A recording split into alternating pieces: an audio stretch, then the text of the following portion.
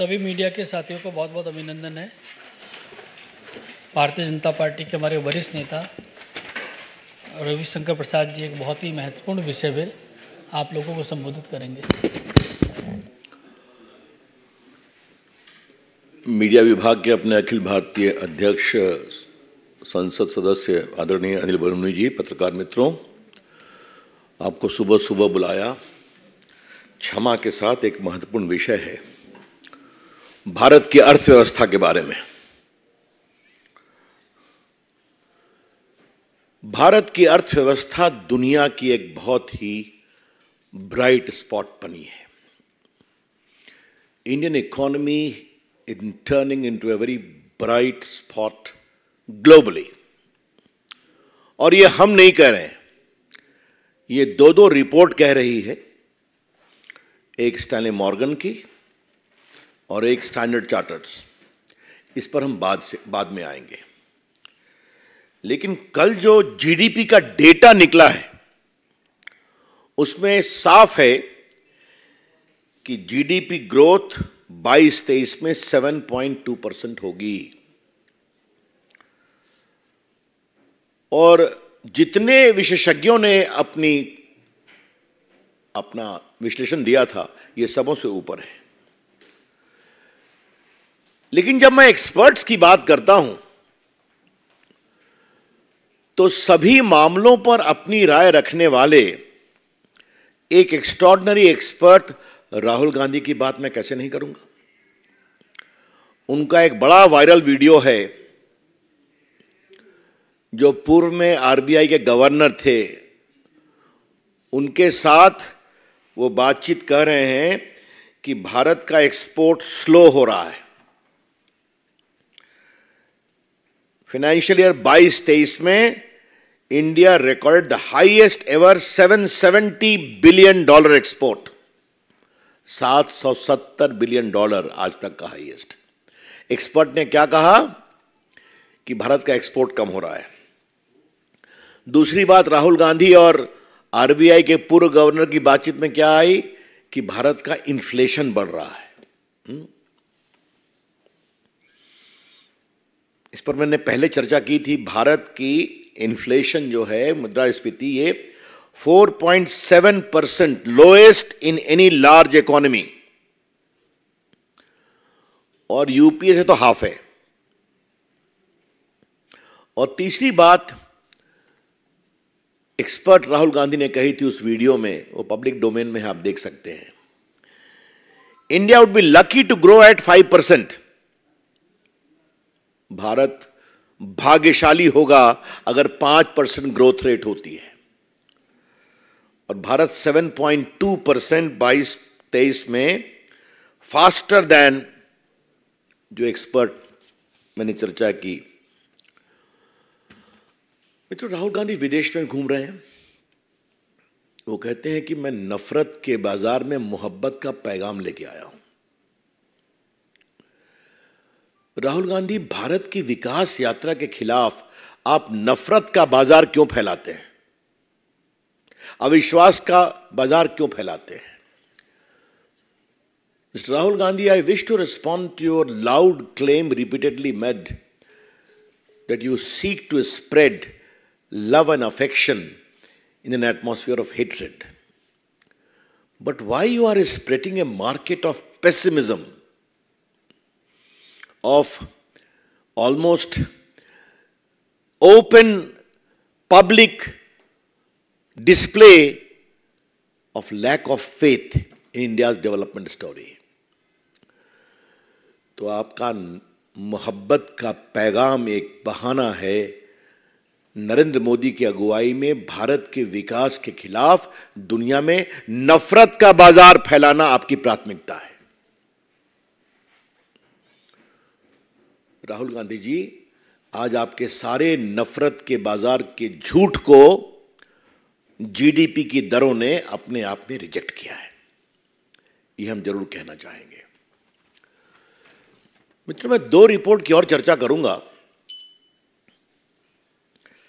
ये Morgan Stanley की report जो आई है, उन्होंने दस फंडामेंटल चेंजेस को मेंशन किया है कि भारत 10 साल में कैसे बदला है। और मैं पत्रकार मित्रों को विनम्रता से कहना चाहूँगा, कृपया करके मत भूलिए, जो मैं पहले भी बोला हूँ, कि यूपीए सरकार में भारत की इकॉनमी फ्रेजाइल फाइव इकॉनमी थी। याद है ना आपको? ये भी दुनिया के सारी बड़ी बड़ी इकोनॉमिक पावर हाउस बोलते थे। और आज भारत की इकॉनमी नरेंद्र मोदी की अगुवाई में वर्ल्ड की टॉप फाइव इकॉनमी है। इंग्लैंड के आगे बढ़ चुके हैं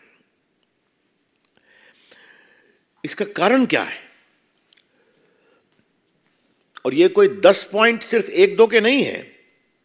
Tax reform massive infrastructure boom from roads to broadband to renewable energy formal economy one nation one tax GST despite Rahul Gandhi propaganda क्या बोलते थे जीएसटी को? राहुल गांधी गब्बर सिंह टैक्स ना बोलते थे। आज बताया कि कितना बड़ा सक्सेस हुआ है। डिजिटल ट्रांजैक्शन ये मैं मॉर्गन स्टैनली की रिपोर्ट रिपोर्ट कह रहा हूँ। From 4.4 percent in 2016 to 76.1 percent in just seven years और चूँकि थोड़ा इस मामले से मेरा जुड़ने का सौभाग्य मिला मोदी जी के निर्देश पर तो आज भारत के इस डिजिटल ट्रांजैक्शन को देख करके बहुत ही अंदर से आत्मविश्वास जगा है देश को और गरीबों को इससे फ़ायदा हुआ है। Real estate reform DBT model और बैंकिंग इंस्टॉल रिफॉर्म्स ये सारी बातें फोकस ऑन एफडीआई वगैरह वगैरह। और इस रिपोर्ट में आगे क्या कहा गया है? Manufacturing share of GDP to rise by five percent sport market to double consumption market profit boom कई चीज़ें, दस पॉइंट उन्होंने मॉगल स्टैंडर्ड रिपोर्ट में कहा है। और आपको हम एक और रिपोर्ट दिखाना चाहेंगे जो आज के एक पिंक पेपर में लिखा हुआ है। ये स्टैंडर्ड चार्टर की रिपोर्ट है।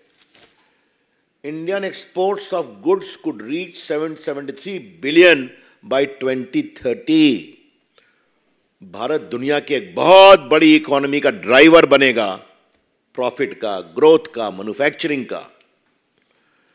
और हमने आपको एक नंबर दिया था कि 14 में भारत में मोबाइल फ़ोन 78 परसेंट बाहर से आता था। आज भारत में 100 परसेंट लोकल मैन्युफैक्चर सर्व होता है और नब्बे हज़ार करोड़ का मोबाइल बाहर एक्सपोर्ट हुआ है लास्ट फिस्कल में। और इसका कारण भी आपको बताना चाहूँगा एक रोचक खबर है इसलिए कि आप लोगों ने उसको मीडिया में बहुत कवर किया था। कि जो एप्पल की दो दुकान खुले हैं दिल्ली और मुंबई में, उसमें जितना सेल हुआ है, वो आज तक के हिंदुस्तान के मोबाइल सेल का हाईएस्ट है एक महीने का। जबकि कोई दिवाली मार्केट नहीं है अभी। हम किसी का, किसी कंपनी का यहाँ प्रमोट करने नहीं बैठे लेकिन भारत बदल क्या रहा है? क्या किसानों की सेवा हाईएस्ट अलोकेशन फॉर देम क्या 11 करोड़ किसानों को 6000 देना एक लाख करोड़ एवरी ईयर क्या 80 करोड़ लोगों को खाना खिलाना, इत्यादि इत्यादि। तो भारत आज गरीबों की चिंता, उपेक्षितों की चिंता, वंचितों की चिंता, किसानों की चिंता, उद्योग की चिंता इंफ्रास्ट्रक्चर की चिंता। इस बार के बजट में 10 लाख करोड़ खर्चा हो रहा है। आपको मालूम है capital expenditure on infrastructure loan तो भारत का सर्वव्यापी, सर्वस्पर्शी आर्थिक विकास है। India's economic growth is all pervasive inclusive ये बहुत बड़ी बात हम कहना चाहेंगे। इसलिए आज ये बहुत ही बड़ा दिन है हमारे प्रधानमंत्री की अगुवाई में जो भारत बदला है उसके लिए। और जो स्पॉन्सर्ड एक्सपर्ट्स हैं, उनके सारे प्रोडिक्शन गलत साबित हुए। और राहुल गांधी जी, मैं आपसे, अगर आपको उचित लगे तो ये रिपोर्टों को जरा खुले मन से पढ़िए। कई बार मोदी जी के बारे में कुछ भी होता है तो आपका खुला मन नहीं रहता है। इसको एक बार पढ़ेंगे तो एक बार भारत के विकास के बारे में, नफरत के बाज़ार फैलाना बंद करिए, इतना ही कहना चाहेंगे। I am open to question now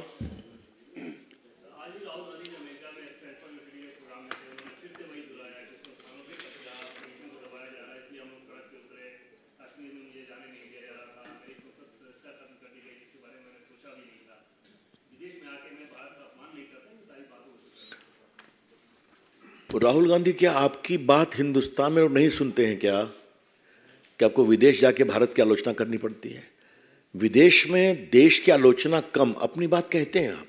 लेकिन आपने भारत की प्रतिभा और भारत की छवि को बदनाम करना राहुल गांधी ने अपना लक्ष्य बना रखा है विदेश में। एक एक मिनट। तो ये कोई नई बात तो है नहीं? जो लंदन में कहा, जो जर्मनी में कहा, जो सिंगापुर में कहा, वही अमेरिका में कह रहा है। तो देश न सुनता है, न सुनेगा, लेकिन इस बात की बहुत पीड़ा है कि जिस तरीके से उन्होंने संसद के बारे में कहा, क्या कहा था? आज भारत के संसद की वास्तुकला को दुनिया अप्रिशिएट कर रही नई संसद को। उन्होंने क्या कहा था? It is a monument of arrogance याद है ना आपको? इस पर क्या? वो नफरत है, मैंने फिर कहा था। राहुल गांधी ये सब क्यों करते हैं? क्योंकि नरेंद्र मोदी की लोकप्रियता और भारत के प्रधानमंत्री हैं वो इसकी सच्चाई को स्वीकार नहीं कर पा रहे नीरज जी बोलिए। सर राहुल गांधी ने कहा कि अ, मुझे लगता है कि मेरा आईफोन भी टैप किया जा रहा है और भारत में डेटा सूचना की गोपनीय- गोपनीयता के संबंध में एक कानून बनाने की ज़रूरत है। झूठ बोल रहे हैं राहुल गांधी। उनके टेलीफोन की डेटा की बात है आपको मालूम मामला सुप्रीम कोर्ट गया था ना?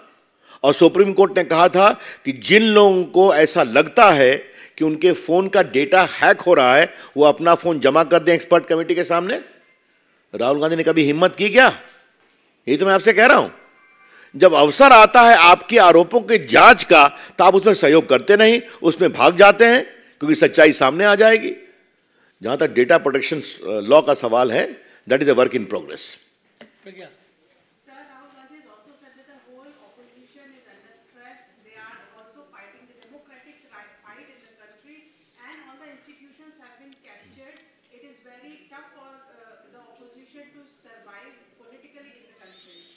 देखिए, आज का विषय भारत की अर्थव्यवस्था पर थी, लेकिन विदेश में बोला है तो मैं रिकॉर्ड इस ठीक करना चाहता हूँ। भारत की नई संसद का इस तरह से तिरस्कार करना यह इंस्टीट्यूशन का अपमान है। चुनाव आयोग के खिलाफ हल्की बातें करना यह इंस्टीट्यूशन का अपमान है। सीवीसी के खिलाफ हल्की बातें करना यह इंस्टीट्यूशन का अपमान है। सीएजे के खिलाफ टू जी घोटाले में इन्होंने कितनी घटिया बात की यह इंस्टीट्यूशन का अपमान है। और सुप्रीम कोर्ट के निर्णय पर दबाव में लाने की बात करना यह भी इंस्टीट्यूशन का अपमान है। बाद में जब सुप्रीम कोर्ट में कंटेम्प्ट हुआ तो माफ़ी मांग के आप बाहर आए। यह है कांग्रेस पार्टी राहुल गांधी के इंस्टीट्यूशन का सम्मान जो लोकतंत्र के लिए ज़रूरी है। मीडिया के बारे में वो क्या कहते हैं आप उनके प्रेस में देख चुके हैं। मुझे बताने की ज़रूरत नहीं है। एक मिनट। और जहाँ तक हमारे नेता प्रधानमंत्री जी का सवाल है तीन मूर्ति म्यूज़ियम सिर्फ़ नेहरू जी के लिए रिज़र्व था। आज जाइए, भारत के सारे प्रधानमंत्रियों की वहाँ पर तस्वीर लगी है, उनकी उपलब्धियाँ बताई गई हैं। चरण सिंह हो, देवेगौड़ा हो, नरसिंहा राव हो, आई के गुजराल हो, गुलजारी नंदा हो, शास्त्री जी हो या नेहरू जी, इंदिरा गांधी हो, वाजपेयी जी हो। वहाँ अभी तक मोदी जी की नहीं है। तो ये हमारे संस्थानों का सम्मान की बात है, जो मोदी जी करते हैं। और लास्टली राष्ट्रपति के अभिभाषण पर दो घंटा राज्यसभा में मोदी जी को बोलने नहीं दिया गया कांग्रेस के लोगों के द्वारा। आपको याद होगा ना? तो ये करते हैं वो संस्थाओं का सम्मान और बाहर जाके विलाप करते हैं सर मेरा एक सवाल है नशरुद्दीन शाह है अभिनेता है उन्होंने ये कहा है कि जैसे नाजी जर्मन के अंदर होता था हिटलर शैली में फ़िल्में बनाई जाती थी हिटलर के हिसाब से वैसा ही अब भारत में हो रहा है उस समय अच्छे फिल्मकार जो है छोड़कर चले गए थे जर्मनी कुछ ऐसी ही स्थिति जो है वो अब भारत में हो रही है यानी कि प्रधानमंत्री की तुलना वो हिटलर से कर रहे हैं देखिए इस पर महाराष्ट्र में भाजपा के प्रवक्ता लोग हैं। मैं इतना ही कहूँगा कश्मीर फाइल्स और केरला स्टोरी फ़िल्में बनती हैं तो कुछ लोग को परेशानी होती है। वो फ़िल्में लोकप्रिय भी हो रही हैं। तो जाने दीजिए कुछ लोग उसको बैन कराने भी गए सुप्रीम कोर्ट बैन नहीं होने दिया। भाई रुको भाई।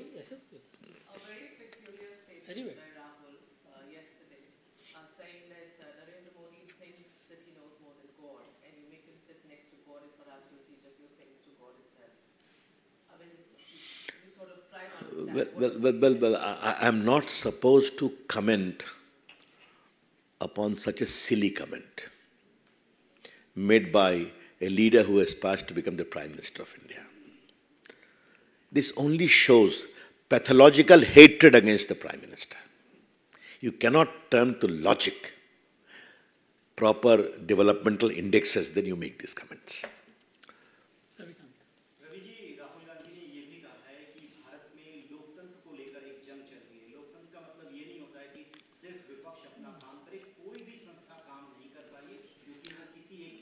मैंने संस्थाओं का विस्तार से जवाब दे दिया।